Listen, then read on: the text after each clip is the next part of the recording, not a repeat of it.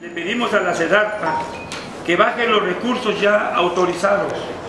No es posible que los campesinos no tengan en esos momentos esos recursos, porque, porque normalmente otros, otros estados productores del campo eh, llenan el estado de esos productos.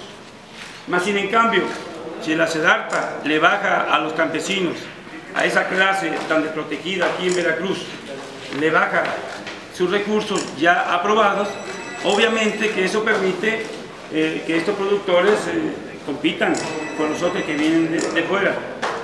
Y entonces nos invaden el mercado.